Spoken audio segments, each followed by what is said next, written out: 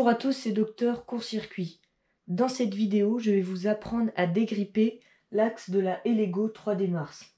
C'est parti Pour commencer, on passe au-dessus de l'imprimante. Il faut dévisser ces deux petites vis. Donc maintenant qu'on a dévissé la petite plaque, elle s'enlève. On la met de l'autre côté avec ces petites vis pas les perdre. Maintenant, on allume l'imprimante. Quand l'imprimante sera allumée, on va cliquer sur Tool, Manual.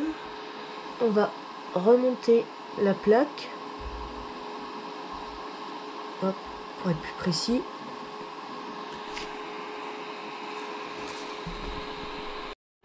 Là, donc là la plaque, elle va s'enlever. Je remonte tranquillement. On voit bien.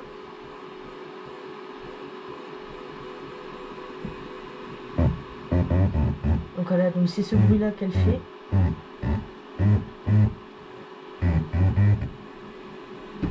Voilà. Donc maintenant, la plaque est enlevée.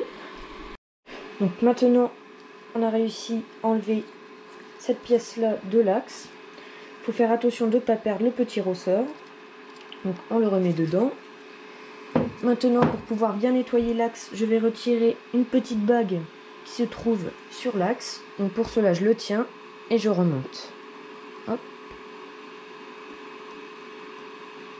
Voilà. Donc cette petite bague maintenant est désormais retirée. Je la remets sur le ressort. On remontre ça après. Donc pour nettoyer, c'est très simple. Un peu de sopalin soit de l'alcool isopropylique, soit de l'alcool à brûler, donc euh, de l'alcool à 90. Donc moi j'ai utilisé de l'isopropylique.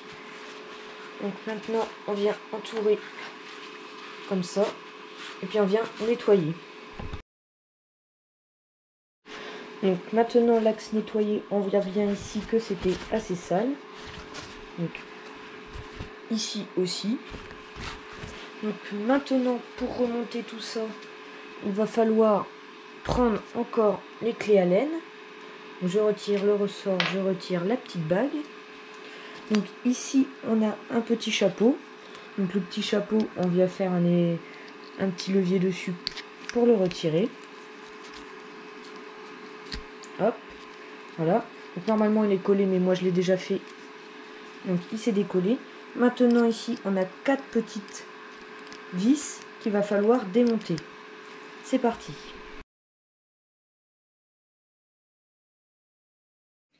Donc maintenant qu'on a retiré les vis, on obtient un objet comme ça et quatre petites vis avec, faut faire attention, des petites rondelles. Donc maintenant pour remonter, il suffit de reprendre ceci. On met comme ça. Il faut bien encastrer les deux objets. Comme ça. Donc là, on voit que ça passe. Maintenant, il faut remettre ça au fond de ceci. Ou bien l'aligner, il faut faire attention. Hein. Moi, j'utilise ma clé laine pour la faire tourner à l'intérieur. Classer, ajouré partout. Maintenant, on remet ça comme ça. Et puis, on va remettre sur l'imprimante avec ça et redescendre l'axe. Donc je rallume l'imprimante. Finalement j'ai retiré la bague complètement. Je la mets droite, ça sera beaucoup plus facile. Hop, on redescend. Il faut bien tenir ça quand même. Voilà. Donc là, la bague, elle est prise. Je relève quand même un petit peu. Hop, j'appuie. Le tout c'est de bien tenir quand même pour éviter que la bague elle tourne dans n'importe quel sens. Donc je redescends plutôt de 1 mm. Comme ça on sera plus précis, ça évitera qu'elle bouge. Hop. Donc là, la bague elle est bien prise.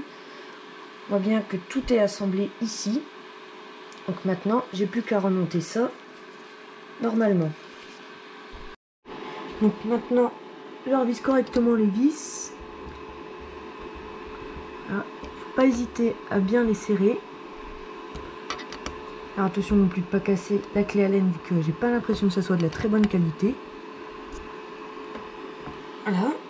Donc maintenant j'appuie et je redescends. Voilà.